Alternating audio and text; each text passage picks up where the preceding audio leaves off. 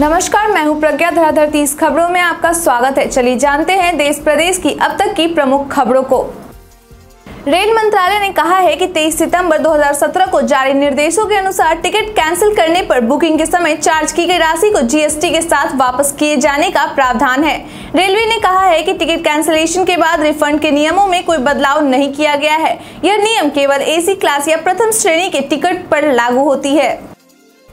बिहार में सीबीआई की no entry को लेकर आरजेडी उपाध्यक्ष शिवानंद तिवारी के बयान से सीएम नीतीश कुमार ने किनारा कर लिया है। नीतीश कुमार ने कहा, पता नहीं उन्होंने क्या बोला है, मुझे जानकारी नहीं है। जेडीयू संसदीय बोर्ड के राष्ट्रीय अध्यक्ष उपेंद्र कुशवाहा ने कहा, उन्हें गलत जानकारी मिली है, इसलिए उन्होंने ऐसा बयान दिया।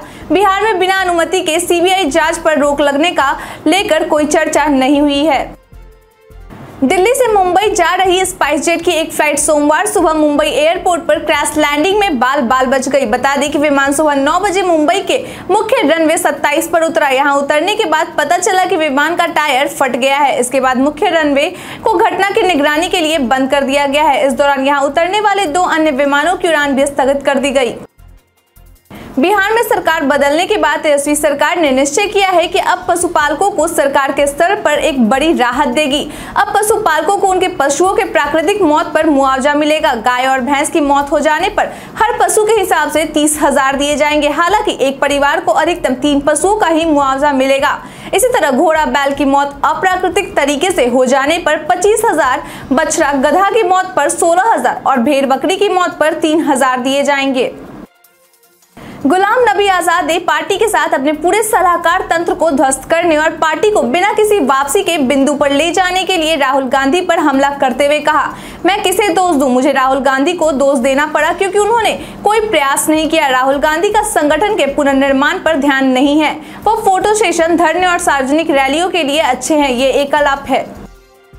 बिहार में बालू की कीमतें पहले से और ज़्यादा बढ़ने लगी है। सरकार ने अब बालू घाटों की बंदोबस्ती को लेकर आज एक महत्वपूर्ण प्रस्ताव पर मुहर लगाई है। कैबिनेट की बैठक में प्रस्ताव लाया गया था, जिसके बाद अब कई बालू घाटों की बंदोबस्ती दर में दोगुनी कर दी गई है। पहले यहाँ रुपए पचहत्तर प्रति घन मीटर के हिसाब से बंदोबस्ती होती थी, लेकिन अब इसे बढ़ाकर डेढ़ सौ प्रति घन मीटर कर दिया गया है।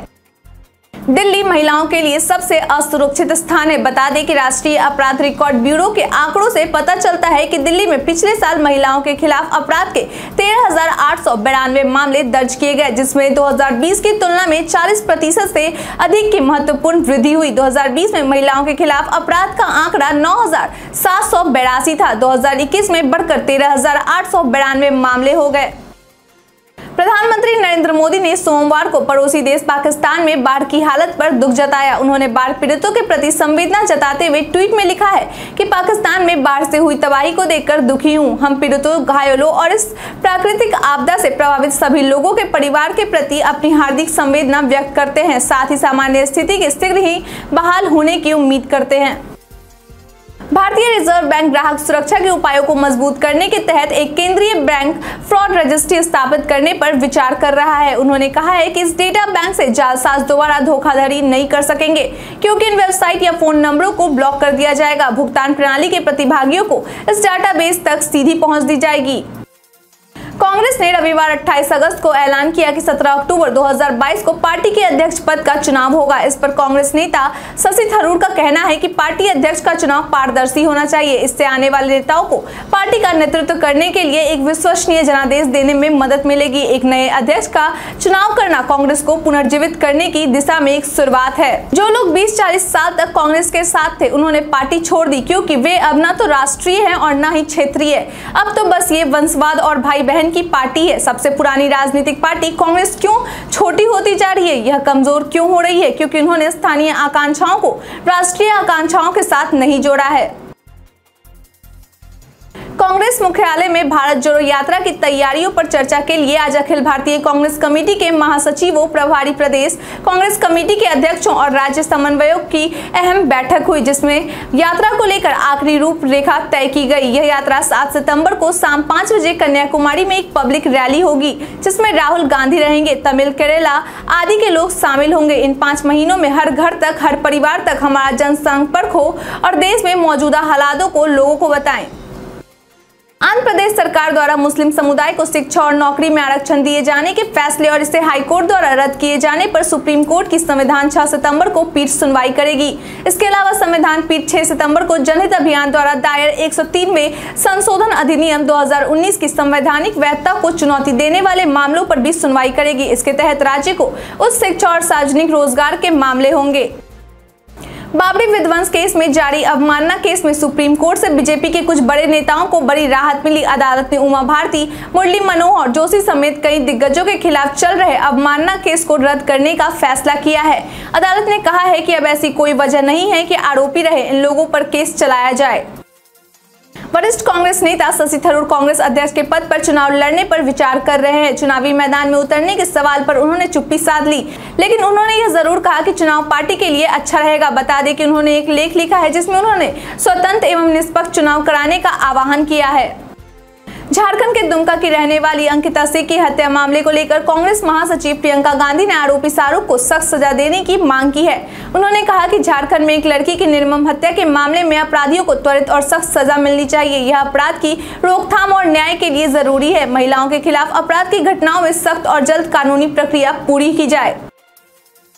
पंजाबी सिंगर सिद्धू मूसेवाला हत्याकांड को लेकर विदेशों में भी एक्शन शुरू हो गया है। गैंगस्टर लॉरेंस बिश्नोई के भांजे सचिन बिश्नोई को हिरासत में लिया गया है। जानकारी के मुताबिक सचिन बिश्नोई के पास भी फर्जी पासपोर्ट भी बरामद किया गया है। मूसेवाला हत्याकांड में मानसा पुलिस ने बीते शुक्रवार को चालान पेश किया था। अठारह पन्नों के चालान में चौबीस आरोपियों के नाम शामिल है। इनमें से बीस को गिरफ़्तार किया जा चुका है।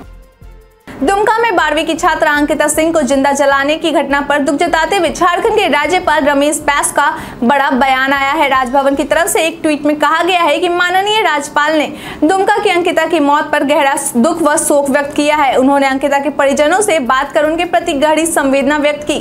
राज्यपाल महोदय ने पुलिस महानिदेशक से वार्ता कर राज्य में बिगड़ती हुई कानून व्यवस्था पर गंभीर चिंता प्रकट करते हुए नाराज़गी जताई है। आसनसोल 30 अगस्त केंद्रीय अन्वेषण ब्यूरो के अधिकारियों की एक टीम कथित मवेशी तस्करी घोटाले की जाँच के सिलसिले में तृणमूल कांग्रेस के गिरफ़्तार नेता अनुव्रत मंडल से पूछताछ के लिए मंगलवार को आसनसोल जेल पहुँच सकती है। बता दें कि सीबीआई ने कथित मवेशी तस्करी घोटाले की जाँच में केंद्रीय एजेंसी के साथ सहयोग नहीं करने के आरोप में टीएमसी की बीरभूम इकाई के जिलाध्यक्ष मंडल को गिरफ़्तार किया है। अपने वीडियो और ट्वीट को लेकर हमेशा विवादों में रहने वाले एक्टर कम प्रोड्यूसर कमाल रशीद खान को मुंबई पुलिस ने एयरपोर्ट पर ही गिरफ़्तार कर लिया है। उन्होंने बोरीवाली कोर्ट में पेश किया जाएगा। कमाल आर खान ने 2020 में एक विवादित ट्वीट कर दिया था, जिसको लेकर काफ़ी हल्ला भी मचा था। इस मामले को लेकर शिवसेना नेता राहुल कनल ने कमाल आर खान के खिलाफ शिकायत दर्ज कराई थी। दिल्ली के उप मुख्यमंत्री मनीष सिसोदिया के खिलाफ केंद्रीय जाँच ब्यूरो इन दोनों शराब नीति में कथित अनियमितताओं की जाँच कर रही है। इस सिलसिले में मंगलवार को मनीष सिसोदिया अपनी पत्नी के साथ गाजियाबाद के एक बैंक पहुँचे हैं, जहाँ सीबीआई मनीष सिसोदिया के बैंक लॉकर की जाँच करेगी। मनीष सिसोदिया ने इस मामले में ट्वीट कर कहा था, कल सीबीआई हमारे बैंक लॉकर पर छापा मारने आ रही है। उन्नीस अगस्त को मेरे घर पर चौदह घंटे की छापेमारी में कुछ भी नहीं मिला। लॉकर में भी कुछ नहीं मिलेगा। सीबीआई का स्वागत है। मैं और मेरा पूरा परिवार जाँच में पूरा सहयोग करेंगे। भारत में कोरोना मामलों में गिरावट दर्ज हुई है। पिछले 24 घंटे में सिर्फ़ पाँच नए कोरोना मामले सामने आए हैं, जबकि एक्टिव केस कुल पैंसठ है। बीते 24 घंटे में बाईस लोग इस कोरोना से रिकवर भी हुए हैं। अब देश में सक्रिय मामलों की दर ज़ीरो प्रतिशत है, जबकि रिकवरी रेट अंठानवे प्रतिशत पर पहुँच गया है। 24 घंटों में 15 लोगों की मौत भी हुई है। पाकिस्तान के खिलाफ भारत के मैच में हार्दिक पांड्या के ऑलराउंड प्रदर्शन का सबसे बड़ा योगदान रहा और वो प्लेयर ऑफ़ द मैच बने। अपने इस प्रदर्शन से उन्होंने टीम इंडिया के पूर्व ऑलराउंडर युवराज सिंह का रिकॉर्ड तोड़ दिया। युवराज सिंह ने भारत की तरफ़ से टी इंटरनेशनल मैचों में दो बार किसी मैच में तीस रन और तीन विकेट लेने का कमाल किया था। हार्दिक पांड्या ने क्रिकेट के सबसे छोटे प्रारूप में तीन बार किसी मैच में तीस रन और तीन विकेट लेने का कमाल कर दिखाया और युवराज सिंह को पीछे छोड़ दिया है। बॉम्बे हाईकोर्ट ने एलेक्सा से जुड़े मामले में होटल मालिकों की ओर से दायर याचिका को खारिज कर दिया और कहा, म्यूज़िक एलेक्सा प्ले कर रहा था या फिर रिजॉर्ट में कोई मेहमान संगीत बजा रहा था, इस तरह का बचाव मज़बूत नहीं है। हमें यकीन है कि अथॉरिटी की ओर से इसका समाधान किया जाएगा, जिसने कारण बताओ नोटिस जारी किया है। सेंसेक्स अब 915 अंकों के ज़बरदस्त उछाल के साथ अंठानवे के स्तर पर है। वहीं निफ्टी दो सौ सत्तर अंकों की बढ़त के साथ सत्रह के स्तर पर है। निफ्टी 50 के उनचालीस और सेंसेक्स के 29 स्टॉक हरे निशान पर है। भारी गिरावट के साथ सोमवार को बंद शेयर बाज़ार की शुरुआत आज मजबूती के साथ हुई है। मंगलवार यानी आज बीएससी को 30 स्टॉक्स वाला प्रमुख संवेदी सूचकांक सेंसेक्स एक सौ सत्तासी अंकों की बढ़त के साथ अंठानवे के स्तर पर खुला। वही स्टॉक एक्सचेंज निफ्टी की शुरुआत भी हरे निशान के साथ हुई।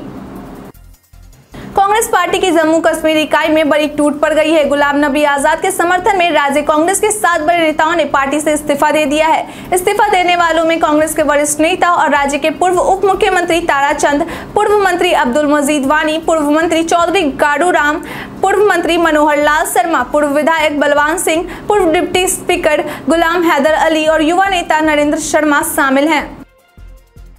भारत के प्रमुख उद्योगपति गौतम अडानी अब दुनिया के तीसरे सबसे अमीर आदमी हैं। ब्लूमबर्ग बिलेनियर इंडेक्स के मुताबिक दुनिया के टॉप 10 अमीरों की लिस्ट में गौतम अडानी इकलौते व्यक्ति है, जिनकी संपत्ति बढ़ी है। बाकी के सभी धुन केबरों की संपत्तियों में गिरावट ही आई है। ताजे आंकड़ों के मुताबिक इस तरह गौतम अडानी एक सौ सैंतीस बिलियन डॉलर की संपत्ति के साथ लिस्ट में तीसरे नंबर पर है।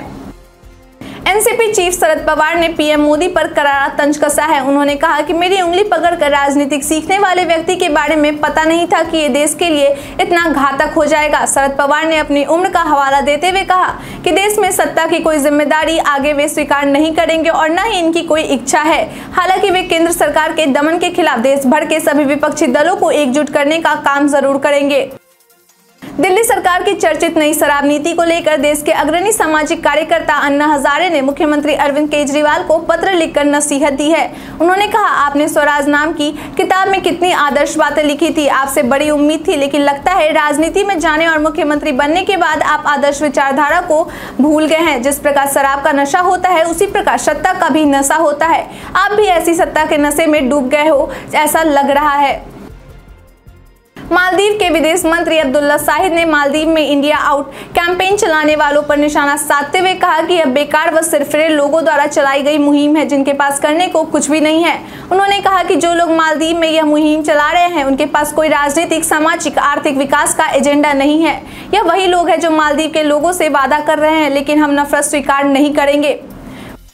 बीते दिन हमारे द्वारा पूछे गए सवाल का आप लोगों में से बहुत से लोगों ने अपना जवाब हमें कमेंट सेक्शन बॉक्स में लिख कर दिया था। जिन्होंने भी हमारे द्वारा पूछे गए सवाल का जवाब दिया है, उनके नाम है ऋषिकेश तिवारी, अशोक कुमार प्रजापति, मोहम्मद अतुल्ला रविशंकर, मोहम्मद इमरान, राजकुमार कुशवाहा नन्नू कुमार। इसके साथ ही बढ़ते हैं आज के सवाल की ओर। आज का सवाल है तेजस्वी सरकार के द्वारा पशुओं के प्राकृतिक मौत पर मुआवजा देने के निर्णय से पशुपालकों को कितना फ़ायदा होगा? आप अपने जवाब हमें हमारे कमेंट सेक्शन बॉक्स में लिख कर दे सकते हैं। आज के लिए इतना ही, धन्यवाद।